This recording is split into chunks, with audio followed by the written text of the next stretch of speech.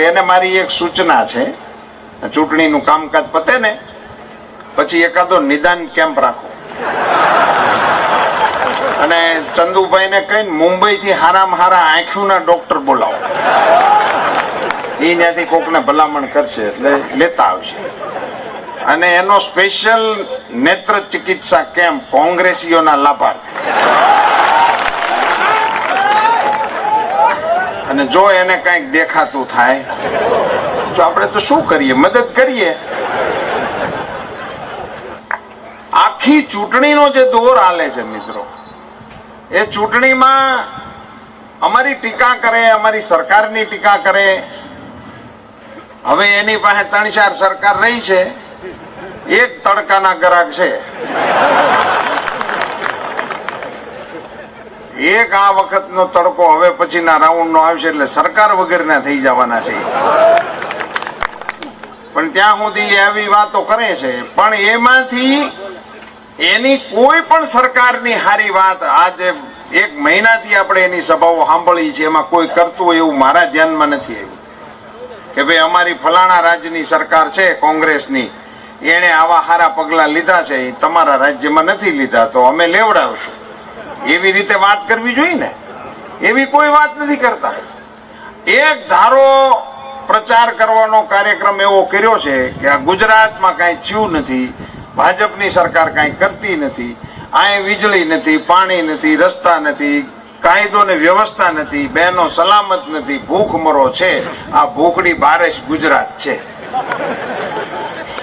હવે આ ચૂંટણી પતી ગયા, કેડે? આની આ વાત આપણે ચૂંટણી પતી જાય અઢારમી તારીખે પરિણામ આવી જાહે. ગુજરાતમાં ભાજપની સરકાર બેહી જાહે ને વિધાનસભામાં ટીનોભાઈ મને હામો મળશે.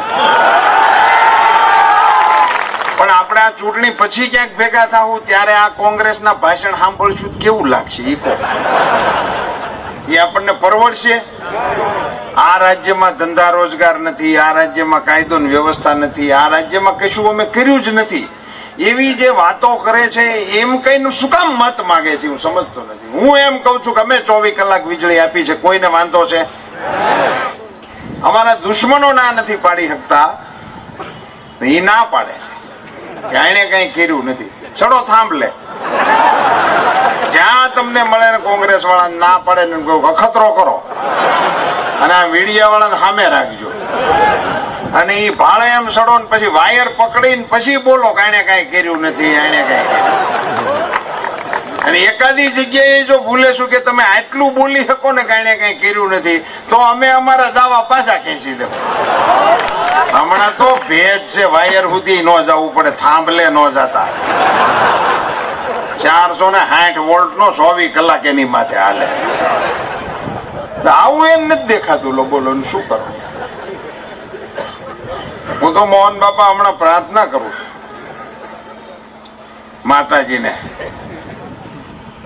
ગાંઠીલા વાળી માને આપણે કેવું પડે ને આ પંથકમાં આવે એને આપણે પ્રાર્થના કરીએ છીએ કે આ કોંગ્રેસ વાળાને હો વરહના કરજો. અને હાજા નરવા રાખજો. આપણે શું કામ કોઈનું બુરું ઈચ્છવું જોઈએ? ભગવાન સૌનું ભલું કરે. પણ ધારો કે ક્યાંય અજા કજા ન કરે નારાયણ ને કરે સતનારાયણ ક્યાંક કોકને કંઈક અડી ગયું અને કંઈક અગવડતા પડી, તો એકો આઠમાં નો સડતા. એ અમે કરી છે ને તમે ના પાડો છો કે એને કઈ કર્યું નથી. હાંડિયા ગાડીમાં લઈને ઉપડજો.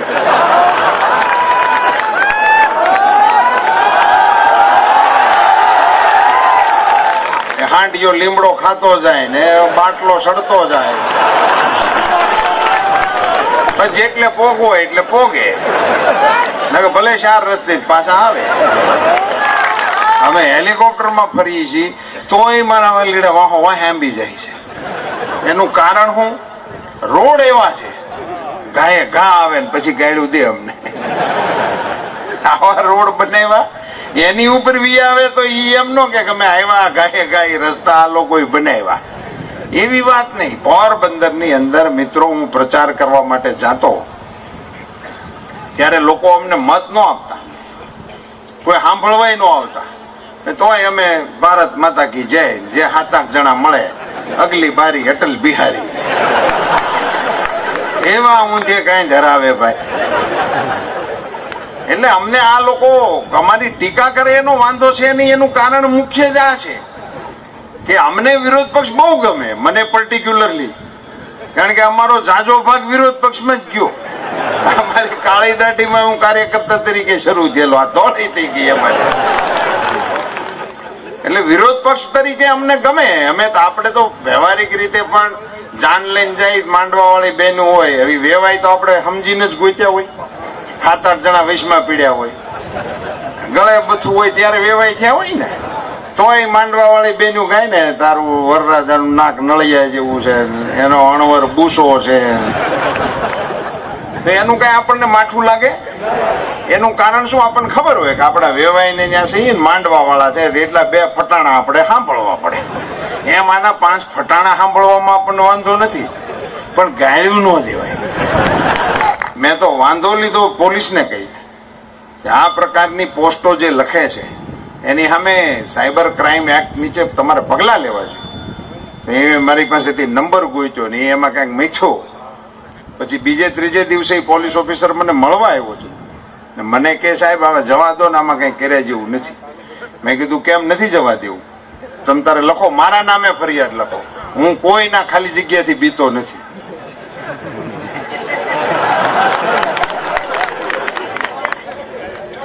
આ આચાર સંહિતાની સાથે.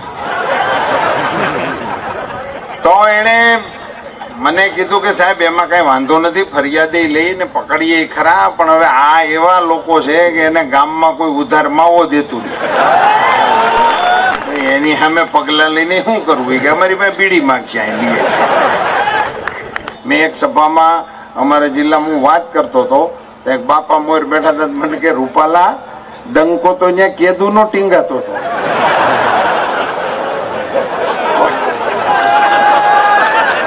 આ પોણિયા જતા એની કીડે ડંકો વગડે કેવી રીતે? ડંકા એની કીડે વગડે? આપણે મંદિરમાં જઈએ તો આપણે ડંકા વગાડતા હોય, છોકરા હેરે હોય, રમતા હોય. એની ઈચ્છા હોય કે આપણે ડંકો વગાડીએ, પણ એની કેડે ડંકા વગડે વળી બહુ કલબલ કરે તો એની માં એને ઉપાડીને ટીન ટીન કરાવે. માની કાંખમાં બેહીન દુનિયામાં ડંકા ન વગડે.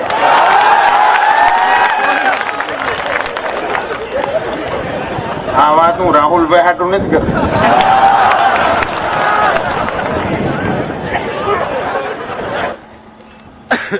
દેશી બાજરાના ડુંડામાં જેમ દાણા ચડે ને અને કણહલું પાકે ને વૈયાના ટોળાના ટોળા આવે. એમાં દિલ્હીથી ટોળા અટાણે આવે છે. એને ખબર નથી કે હજી આ ગુજરાતના કણબીઓએ કેડે ગોફણ બાંધવાનું ચાલુ રાખ્યું છે. અહીંયા કોઈને ઉતરવાનું થતું નથી. એના સપના કોઈ જોતા નહીં. એના મનમાં વિચાર એવા આવે છે, આપણી બાજુ તો મધ બહુ નાના થાય. આપણે બાજુ જે લીમડે પીપળે બીજે મધ થાય ને, એમાંથી પાંચસો ગ્રામ, અઢીસો ગ્રામ એવડા જ પાણી મધ નીકળે, એવડા જ હોય. ઉત્તર ગુજરાત બાજુ કોઈક દિવસ તમે જાઓ ને, તપાસ કરજો, જેને આંટો મારવામાં શોખ હોય, રસનો, મોટેરા મંદિર ને એ બાજુ, તો સોફાળ સોફાળ જેવડા મધ થાય. માંથી ડબો ડબો મધ નીકળે. એવડા મત થાય. આ દસ હજાર ના બજેટમાંથી એક કરોડ ને એકોતેર લાખનું બજેટ ગુજરાતની તિજોરીમાં ભાળી ગયા છે, એટલે મોઢામાંથી કોંગ્રેસીઓને લાળ પડે છે. બાવી વર્ષના પારણા કરવા છે ને લાંબી જીભે સાટવું છે આમાં.